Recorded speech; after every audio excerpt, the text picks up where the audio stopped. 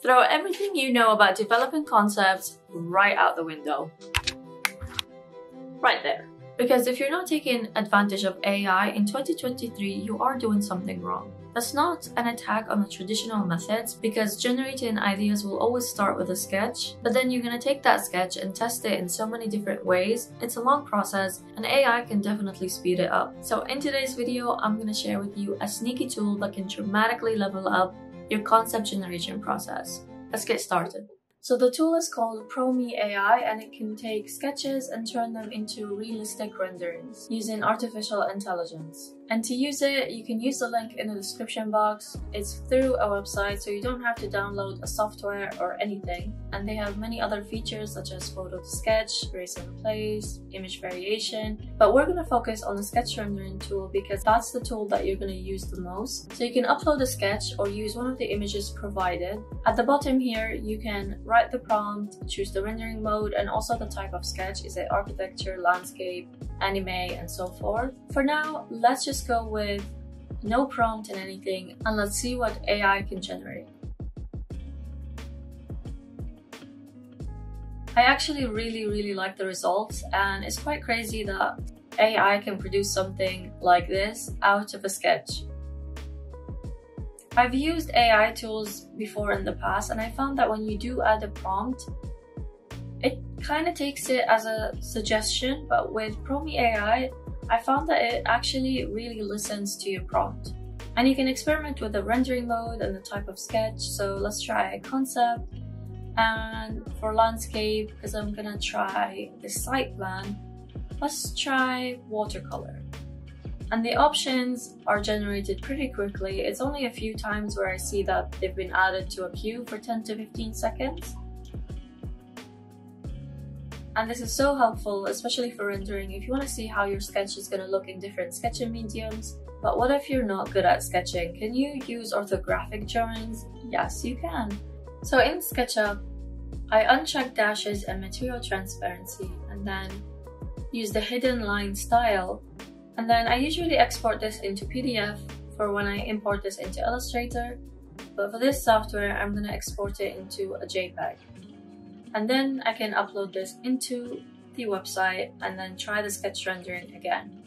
And what's so good about this website compared to other AI websites is that it's really geared towards artists, architects, and designers because you can see that just when you click on architecture, there are so many different options and the list just keeps going on. Like you can keep, keep going down and down and it's just so cool and kind of addictive for this one, let's write a prompt, very simple one, and then upload our image.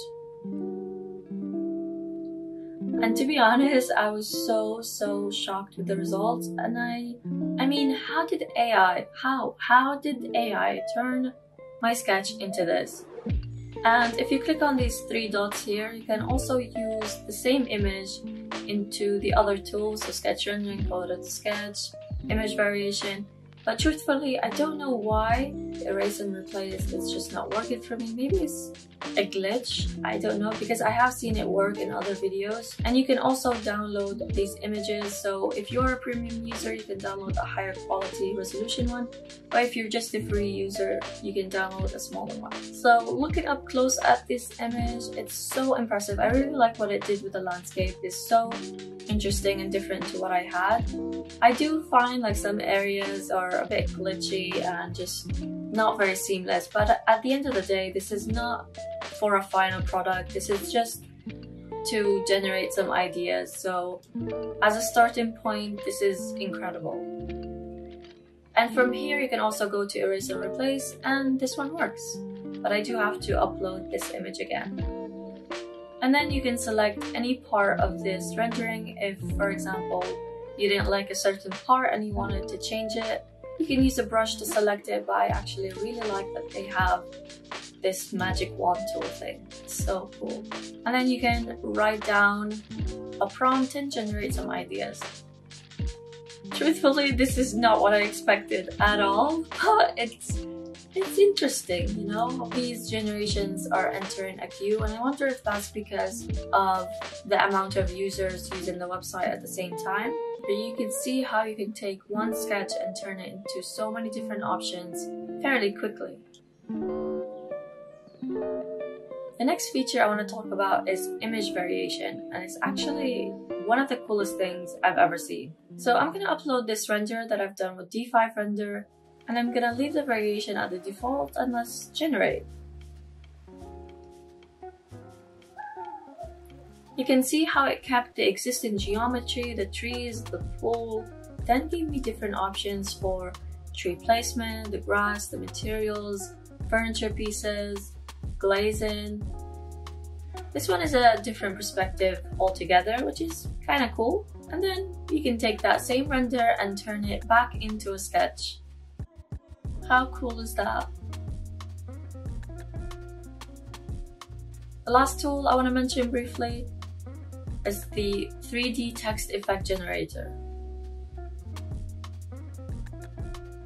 Okay, interesting choice of colors and background. Let's try something else. I really like this mode.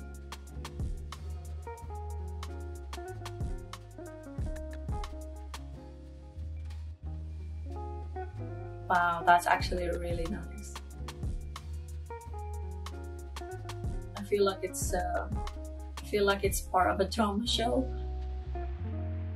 Another feature is that you can take a simple image and then you can use the background diffusion to completely remove the background, which is really quick and easy, but then you can also replace it. So this is mainly geared towards product design.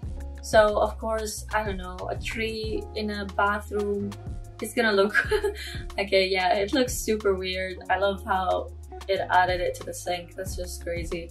But yeah, if you take a product, you can replace the background and use it on social media or your branding, which is super cool. So the best part about this website is that you can use it for free. You can generate up to 200 images per month, which is way more than any other AI software. But you can download the HD results, you can download the smaller versions like I've mentioned before, so if you do upgrade to the monthly subscription or the annual subscription, you have full access to all the features, you can download the HD results, and you can also use it for commercial use and distribution. And that's all for today's video. I hope you guys enjoyed it and you found it helpful. Thank you to Prome AI for sponsoring today's video. Let me know in the comments down below how you are using AI in your design process. I'm Rasha Shiruro and I will see you next time.